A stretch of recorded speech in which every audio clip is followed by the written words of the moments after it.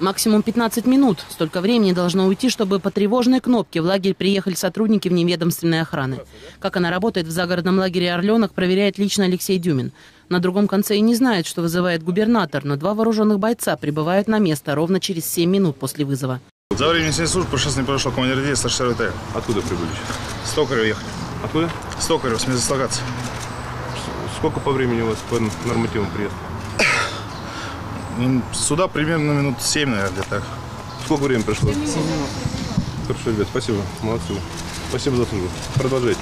Безопасность детских лагерей – это первое, на что смотрят различные комиссии во время проверки. Поэтому рабочий визит в детский лагерь «Орленок» глава региона начинает с того же. Губернатору докладывают, территория лагеря полностью огорожена, освещена по периметру.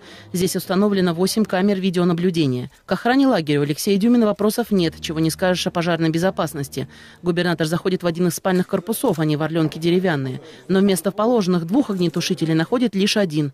Нарушение немедленно устранить требует Дюмин, а еще решить вопрос с асфальтированием территории территории. Дорожки все в ямах. О питании детей губернатору рассказывают в столовой лагеря. Оно шестиразовое. Ребятам каждый день дают свежие фрукты и овощи. Вкусно ли кормят? Дюмин спрашивает и у детей. Мне здесь очень нравится, кормят здесь хорошо. Особенно на полдник или на второй завтрак нам дают всякие фрукты.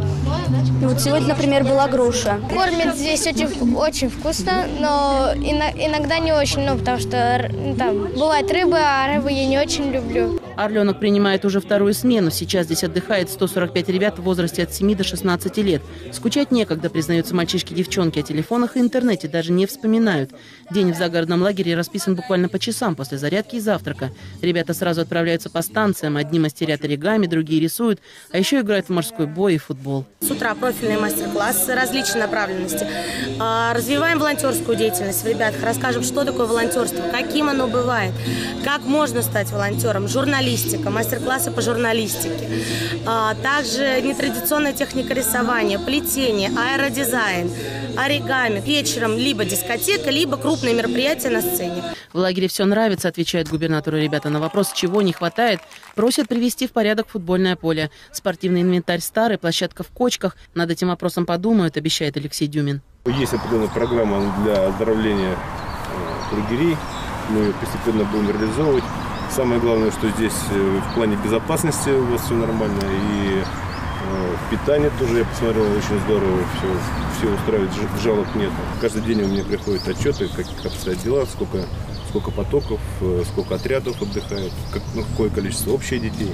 Поэтому будем постепенно это хозяйство все приводить в порядок. В следующем году ждут перемены и «Орленок». В лагере появится новый спальный корпус. Он будет рассчитан на 30 мест. На его строительство уже заложили больше 12 миллионов рублей. Провести время весело, используя следующим летом здесь сможет еще больше ребят.